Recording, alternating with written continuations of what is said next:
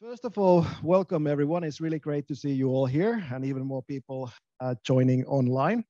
Uh, my name is Aatu, and I'm going to do the mandatory part of the evening. So, give you an overview of data science at Wolt. What do we do here? And let's see if I can. Yeah, the mandatory part. So, overview of data science here at Wolt. So, uh, hopefully, uh, most of you know a little bit about Wolt and food delivery. So uh, for example, through our app, you can place an order, the restaurant prepares the food and courier delivers it to you. And that's where the whole story started. But after that, we have moved beyond that. So nowadays, if you look around you in the city, pretty much anything you see there is hopefully something that we could be delivering in minutes. So we have moved from restaurant food into retail, delivering retail items, pet food, flowers, electronics, pharmaceutical, like all sorts of things in different markets. And we're also operating our own grocery stores, Wolt Markets. So that has been a, a big change for us in the, in the business. There's some numbers here. Uh, it's supposed to give you an idea about the scale. Uh, I've been with Wolt for less than two years, and I can say that some of those numbers have doubled or tripled while I've been here. So there's a tremendous growth in the, in the past years. Currently, Wolt operates in 23 different countries, more than 300 cities. And quite often when I talk about uh, with different people, uh, not everyone really knows that we, for example, operate in Japan, where we are operating in multiple cities, but also have a product development team located there. And then uh, hopefully again, many people have heard about DoorDash, which is probably the biggest player in the food delivery business in the US. So Wolt was acquired by DoorDash. The deal was closed over the summer, which means that we're now the international branch of DoorDash. And we continue to operate uh, under the Wolt brand and, and using the Wolt uh, app and the stack. But we are, of course, discussing and learning and sharing together.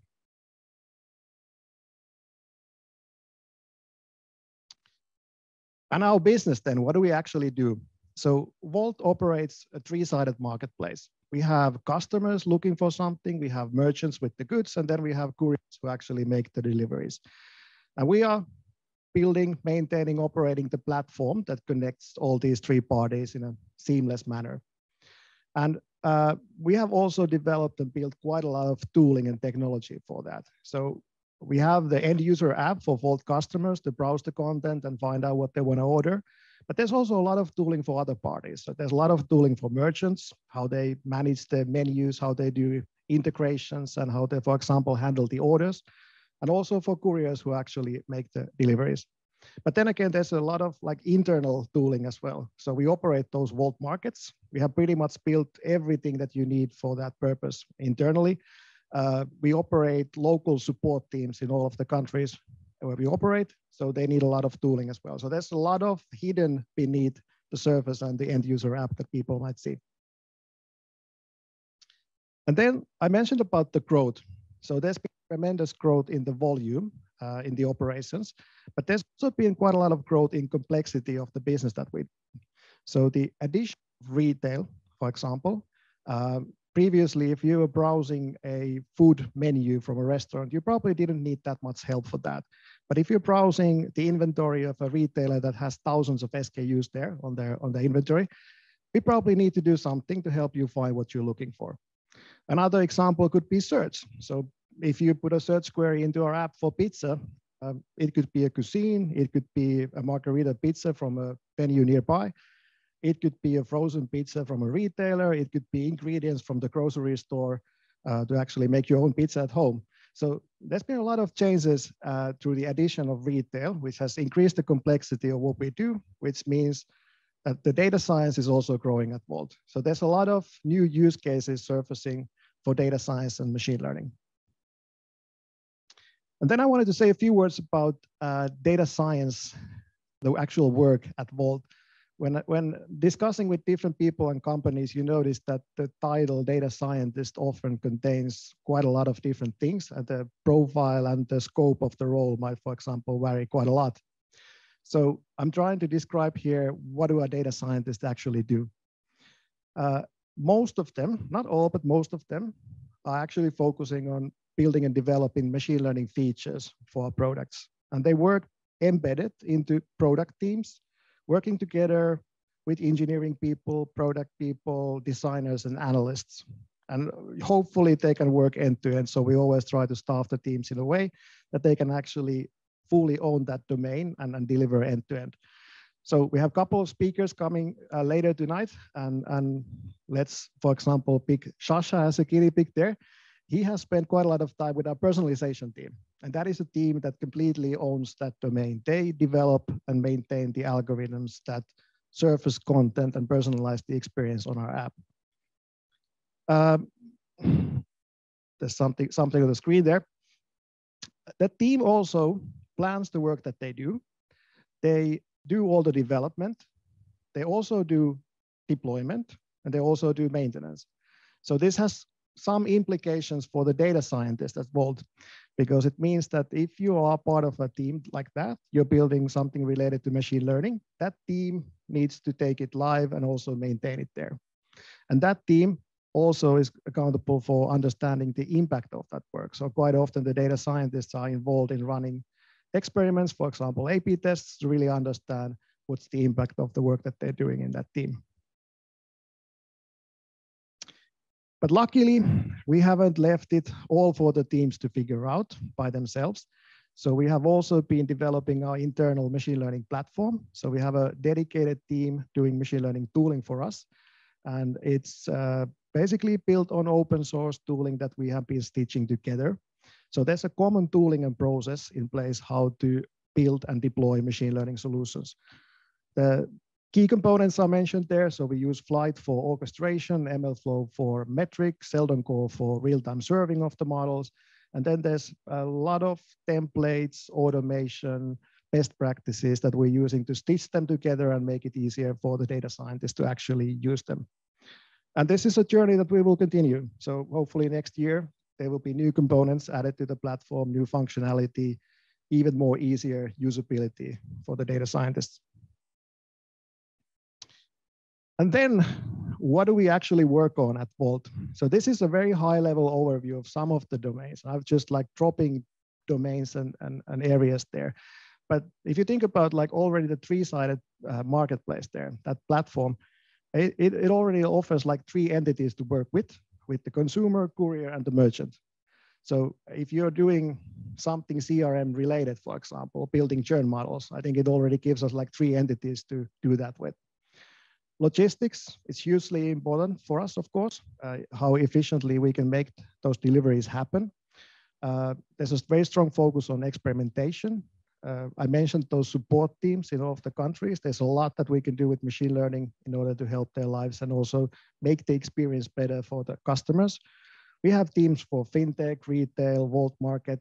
What I'm trying to say here is that Wolt really has an enormous amount of like future opportunities for data science and machine learning. And I think we're still like sort of uh, scratching the surface there and see like where the journey will lead us just going to say a couple of words about few domains here. So one of them is everything customer related. Uh, personalization is one area where we're quite active, of course. So, so we have a team trying to understand what the customer is trying to do and how we can surface relevant content on different surfaces there. Uh, there will be more details about that work later tonight. We have a, a focus on search as well, as I mentioned. Uh, the addition of retail, for example, has increased the complexity there. So again, trying to make it easy for people to find what they're looking for, whether it's a global search or in-venue search, that's something that we're actively solving all the time. And then we have that team around marketing technology that Erlin mentioned, and we will also hear about more today.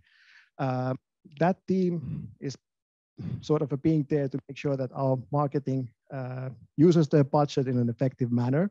But they also work on anything sort of a customer campaign related. So they work on topics like lifetime value models, churn models, basically any kind of help that the marketing teams actually need. Logistics, understandably quite core domain for us. We develop and maintain our routing, our routing algorithm inter internally. So this is how we set up the optimization problem for the logistics and how we actually solve it as well. And it's completely in-house uh, developed and managed at the moment.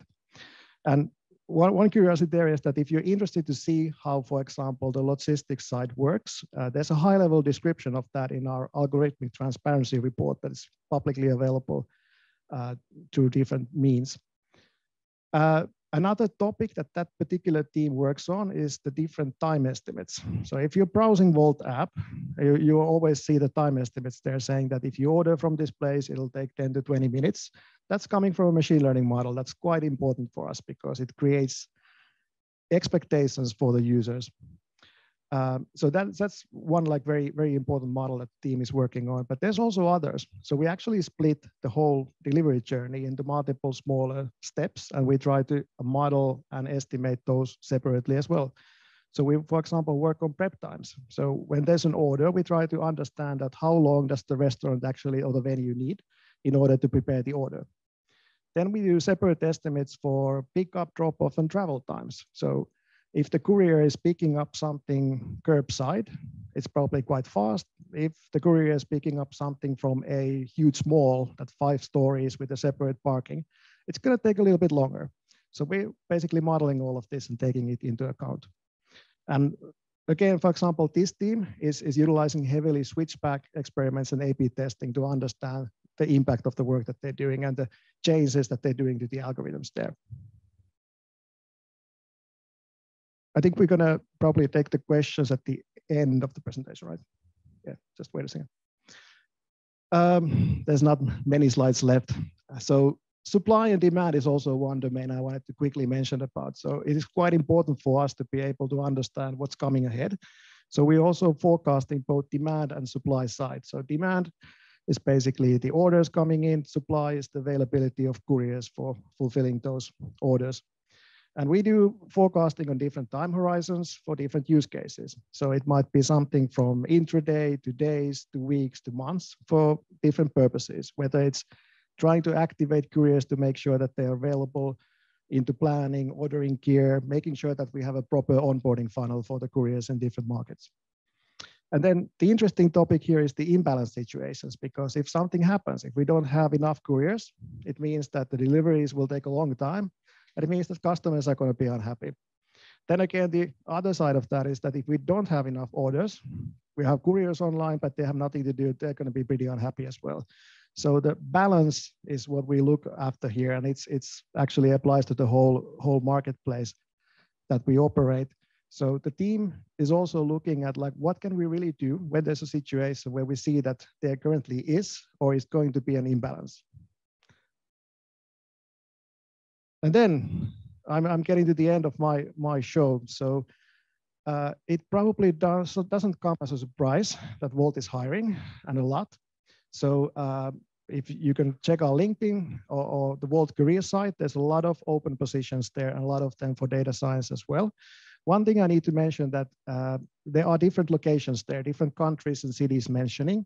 Don't mind them. We're happy to discuss anyone with like any of the locations where we can hire. So there's some, some roles listed there. There's plenty of more online. And if you see anything interesting, uh, let's talk.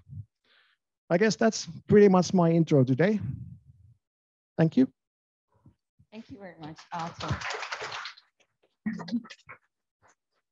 yeah, I can take that. Yeah. Thank you. We can take the questions.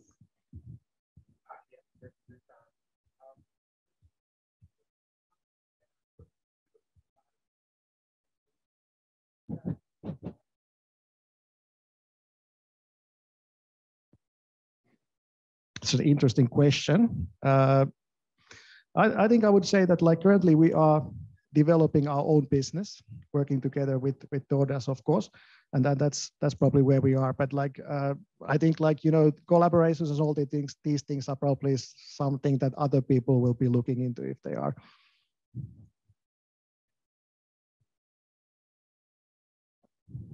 There's a couple.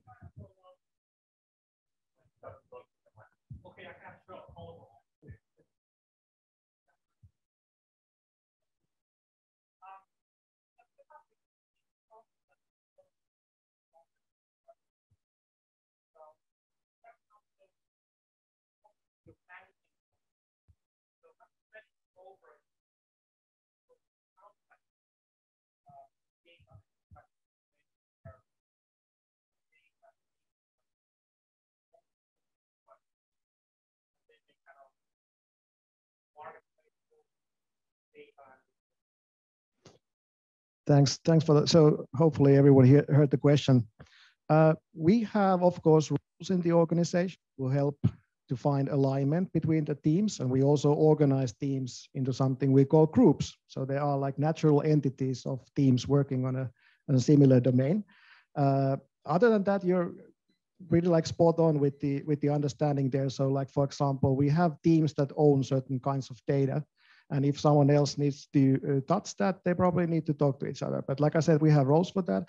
And we also have some central teams that help with uh, pretty fundamental teams like data ops, DevOps, and so on. So these are also something that uh, can be helpful in this kind of situations where teams need to collaborate on something. Thank you. We had a. No. Yes.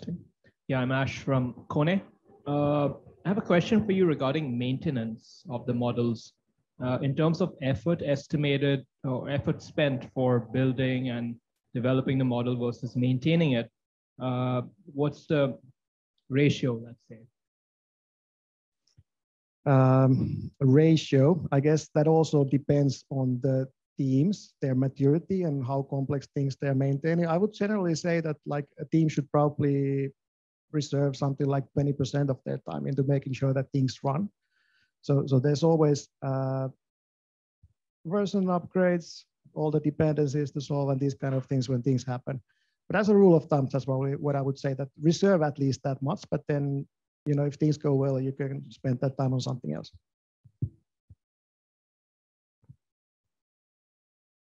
Thank you.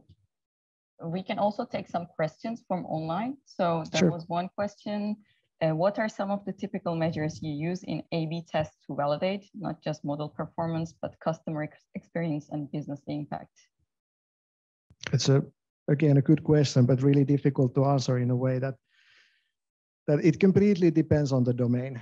Uh, and, now I'm sort of a drawing blank when I'm thinking about like the metrics again, but it, it really depends on the team, that what are they building and what kind of metrics they're using. So they usually have some kind of objective. So, so maybe they're looking at conversion, for example, but there's always guardrails as well. So you usually want to improve some metric and make sure that certain other metrics don't go any worse. So, but that that really depends on the on the team in question. That like what kind of metrics they're using. I don't have any like general advice on that yeah. topic. Yeah, maybe we can take one more small, small questions. They were wondering how many data scientists we have. In-house. How many data scientists do we have? We have currently around 15 data scientists working embedded into different teams. Hopefully there's going to be a lot more. Yes. Yeah, we can take one more.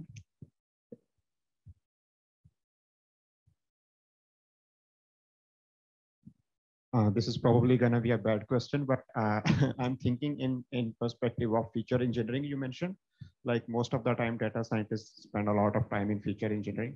So some of your models predict the estimated time uh, a courier would pick up the food or deliver or the preparation time. And that kind of involves geo coordinates. Uh, but I'm thinking like, uh, do you actually use geo coordinates or like street addresses of the hotels or restaurants as like features? Because uh, that might lead to overfitting or something, or do you like use distance measures or some kind of, and if you do, what would be like the evaluation matrices? So I'm just trying to have like a general technical uh, overview. Yeah, I'm just thinking also how to answer that question. So location is quite important for us. And, and, and of course, like we use location information. Uh, usually it's not like on an address level, but mapped to some hexagons or something like that. And uh, it really depends again on the model that like what kind of features they're using there and, and, and how they're using those. And uh, like, for example, those uh, delivery estimates that you see when you're placing an order. Of, of course, we need to have an understanding of where you are and where the delivery is going to be because need to have an idea how long the distances are. So they're definitely used in that, that uh, connection. Is there anything else that you want me to add there? Okay, thank you.